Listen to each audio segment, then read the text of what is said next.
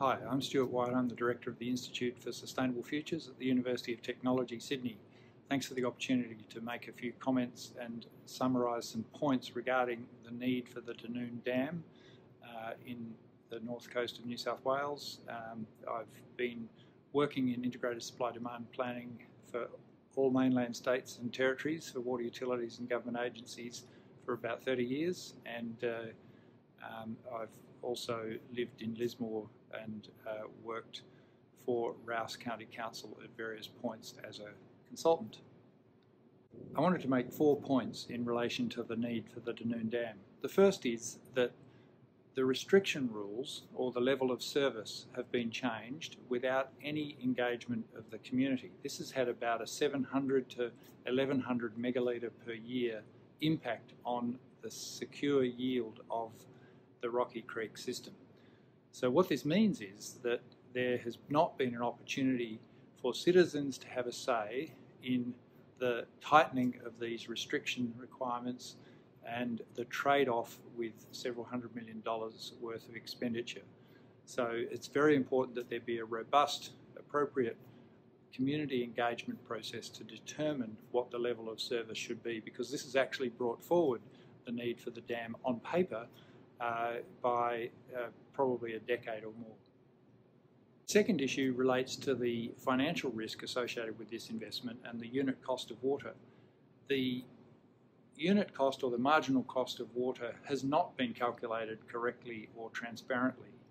Let's take an example. If you were a business person setting up a soft drink factory and you spent $200 million in present value terms on a factory that made soft drink bottles, and you sold uh, 20 million of those bottles uh, per year, then because of the present value over uh, 10 years or so, you would be looking at about a dollar per bottle. However, if the sales are only $2 million per year, then you'll be looking at $10 a bottle. And that's analogous to the situation that Rous County Council is in, with a very risky, large capital cost, a large upfront expenditure, and the water that will actually be used from this dam is much, much lower than uh, the capacity or yield of the dam. So we need to do those calculations in the appropriate, accurate and transparent way in order to understand what the real cost of water from the dam is and therefore to compare it uh, fairly with the other options.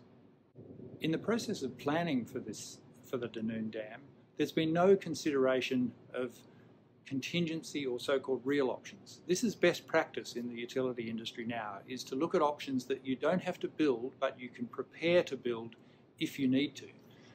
And the risk associated with climate change is such that the Dunoon Dam will not be able to provide water during the worst possible drought. So there needs to be other options which are less rainfall dependent and particularly which can be rolled out rapidly, planned for, if indeed uh, possibly needed, contracted, designed and ready to roll out. And this can apply to groundwater, it can apply to potable reuse, it can apply to intercatchment transfers, uh, it can apply to a whole range of different options that are smaller and can be built uh, as and when they are needed during the worst possible drought on record.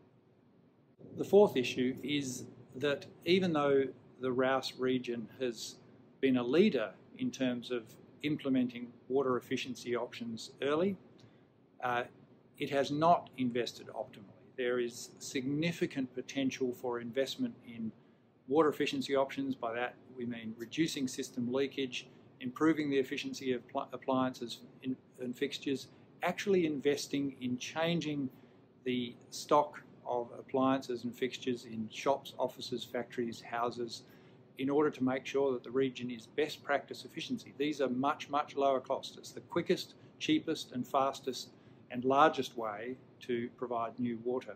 Similarly with non-potable reuse, there's not been sufficient activity, sufficient investigation of the potential costs and benefits associated with implementing non-potable reuse, particularly uh, industrial scale, commercial buildings and the like.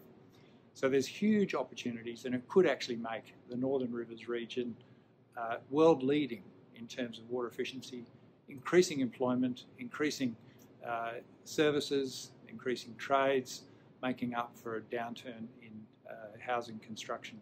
So there are huge op economic opportunities uh, as well as significant greenhouse gas reduction savings to be made through implementing water efficiency and non-potable reuse. In conclusion, there are a lot of risks associated with uh, the investment, the uh, capital cost, the high upfront capital cost associated with the Dunoon Dam, uh, the level of service issues, uh, the fact that the unit cost has not been correctly or transparently calculated, the fact that contingency options or real options uh, approach has not been even considered, let alone applied, uh, and the fact that there is significant increased potential for water efficiency, improving the efficiency with which water is used in the area, reducing leakage right across the region uh, in a whole of region approach as distinct from individual constituent councils doing their own thing. Uh, and there are significant opportunities for exploring further use of non-potable reuse. For all of these reasons, uh, there are significant opportunities from an alternate path and there are significant risks associated with such a large scale investment in a supply option.